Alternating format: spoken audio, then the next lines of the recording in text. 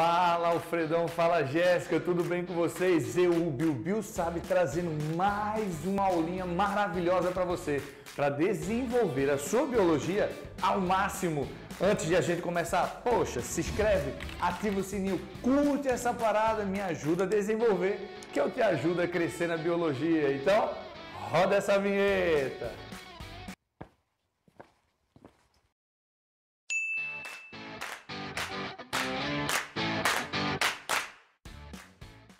Simbora aqui? Galera, agora aqui vai ter nome pra caramba, muitos nomes, e a gente vai trabalhar todos eles de forma lenta pra gente aprender, bater, porque eu sei que isso aqui é o calo de muita gente. E isso é importantíssimo para que a gente entenda as nomenclaturas que a gente vai ver na aula de divisão celular, beleza? Tanto mitose quanto meiose. Então vamos nessa. Primeira estrutura que você vai ver aqui, isso tudo representa o nosso cromossomo. Para você que quer anotar, o que é o cromossomo? Cromossomo representa o grau máximo, ou é a estrutura formada pelo grau máximo de condensação da cromatina. A cromatina é o longo filamento de DNA, beleza?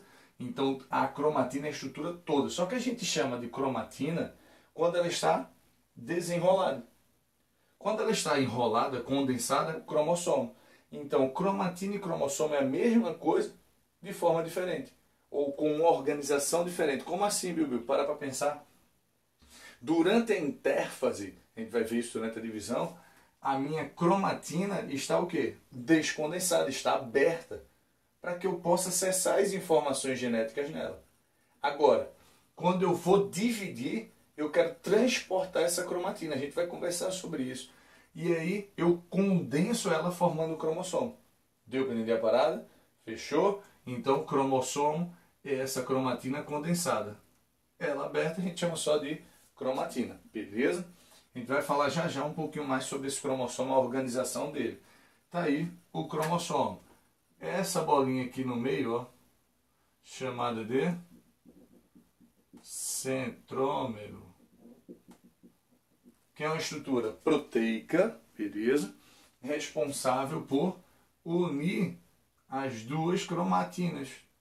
Essa aqui, durante a intérfase, duplica o material genético. Essa outra aqui que a gente vai falar disso já já, beleza? Aqui a gente vai ter uma região descondensada, chamada de eucromatina.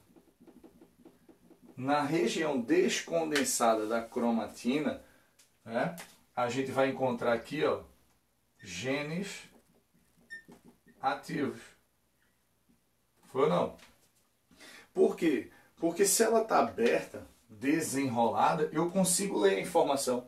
Para para pensar. Se eu tenho um livro e esse livro está aberto, eu consigo acessar a informação. Os genes estão abertos, estão ativos.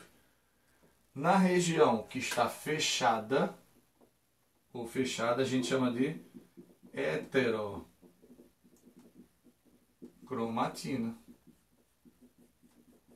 Essa região de heterocromatina, por estar fechada, a gente diz que os genes estão o quê? Inativos. Não? Inativos. Deu para entender? Não, Bíblia, não entendi. Olha o que acontece. Todas as nossas células têm a mesma informação genética. Todas, todas, todo, todo mundo tem a mesma coisa. Todo mundo tem a mesma coisa. Bíblia, o que é que faz então uma célula ser tão diferente da outra, de um tecido tão diferente do outro? Justamente isso. As regiões delas que vão ficar ativas e inativas. Quer dizer então que a célula do meu cabelo, do folículo capilar, que eu tenho pouco, por opção, que fique bem claro. Aí, esse carinha aqui tem a mesma informação que a célula do meu pé? Sim, tem a mesma, a mesma informação. E por que elas são tão diferentes? Porque durante um processo chamado de diferenciação celular, que a gente vai ver lá na embriologia, a diferenciação celular promove a ativação de algumas regiões e a inativação de outras. Então aquilo que ficou ativo para a formação do meu cabelo está inativo lá no meu pé. Da mesma forma, aquilo que está no meu pé para ativar e formar as características do pé, está inativo na cabeça. Porque senão ia nascer um pé de cabelo. Nada. Deu para entender a parada? Foi ou não? Então o que diferencia essas células são justamente as regiões que são ativas e inativas. Isso é questão de prova muito fácil. Muito fácil. Porque o que é que diferencia? Ah, por mais que a gente tenha tantas células diferentes, tantas características diferentes, elas tendo a mesma informação genética, o que é que faz isso? Diferenciação celular. Deixar uma região de eukromatina e outra de hetero. Isso que vai diferenciar essas células. Viu, Mas como é que eu condenso? Condensa por conta dessas proteínas aqui, ó, chamadas de estonas. Beleza? Então tá aqui, ó. Ó. As estonas. As estonas são proteínas que permitem que o filamento de cromatina, ó, esse azulzinho aqui, cromatina, permite que a cromatina se enrole. Funciona como, por exemplo, você está soltando pipa, soltou a linha. O que, é que você faz para guardar essa linha depois? Você enrola ela todinha no carretel, não é assim? Aqui no Rio eu acho engraçado que a galera puxa a linha, fica aquele bolo no chão, perde boa parte da linha. Qual o certo? Enrolar no carretel para não perder a linha. Não é assim? Tranquilo? Aí o que é que acontece? Se eu somar aqui, ó. Se eu somar aqui esses dois, esse conjunto estona mais cromatina forma uma estrutura chamada de nucleossomo. Deu para entender a parada? Tranquilo? Nucleossomo é o nome dessa estruturazinha aqui. Agora, aqui a gente vai ter a molécula de DNA. Uma observação importante que você tem que saber é o seguinte, vamos lá, preste atenção. Durante a divisão celular, eu falei no início que eu condenso esse material genético para facilitar o transporte formando o cromossomo. Durante a intérfase, a gente tem ela descondensada na forma de cromatina. Só que mesmo nessa fase da intérfase, mesmo ela descondensada, a gente tem regiões condensadas, que são a heterocromatina que a gente falou isso. Então preste atenção no que eu vou lhe falar. Durante a intérfase, a gente encontra tanto a região de eucromatina como heterocromatina. Fechou? Durante a divisão, a região que estava aberta, a eucromatina, fecha, condensa também. Fechou? Deu para entender a parada? Só que durante a intérfase não ocorre a duplicação do material genético. Se eu vou duplicar, eu tenho que duplicar essa parte aqui também. Então quer dizer que durante a fase S da intérfase, a gente vai falar sobre isso. Durante a fase S da intérfase, ocorre o desenrolar disso aqui.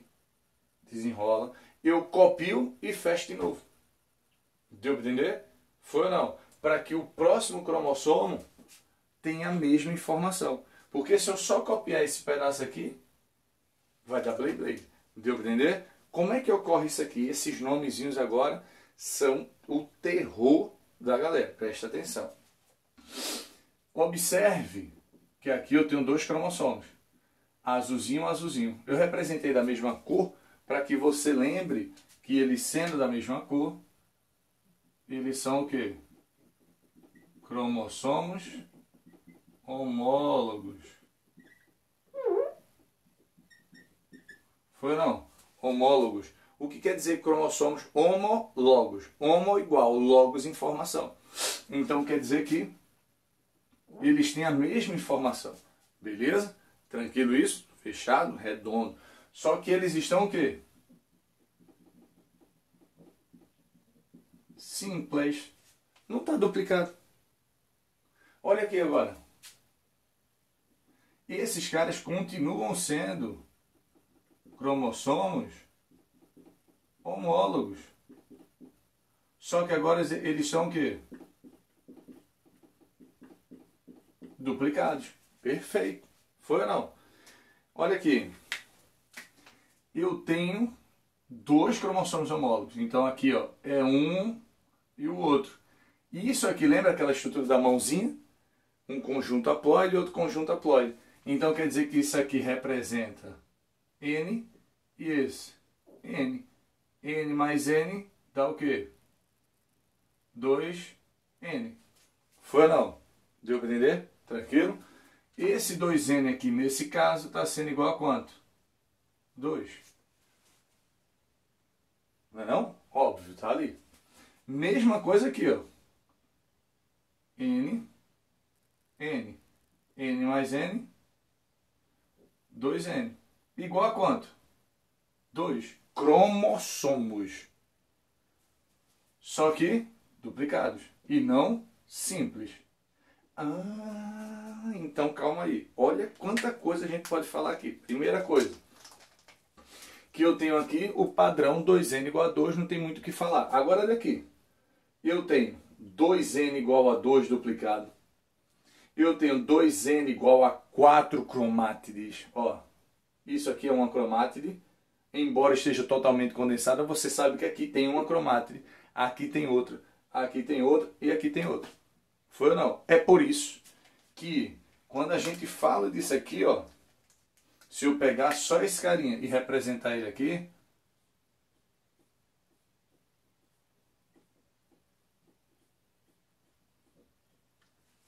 isso aqui, ó, essa cromátidezinha daqui deu origem a essa. Por isso que ela é chamada de quê? Cromátides irmãs. Foi ou não? Quando a gente chegar lá na meiose, na mitose, a gente vai falar da separação das cromátides irmãs. É isso aqui, ó. Separação de cromossomos homólogos embora esteja duplicado, não deixa de ser homólogo. Deu para entender a parada? Essa é irmã dessa, essa é irmã dessa. Só que entre elas, homólogas. Deu para entender isso aqui? Deu para entender? Tranquilo? Fácil ou difícil isso aí? Redondinho? Então, quanto ao núcleo, essas são as estruturas e as características importantes que a gente vai falar. Isso aí, curtiu essa parada até aqui? Então, poxa, dá esse like comenta aqui, se inscreve no canal, beleza? E até a próxima!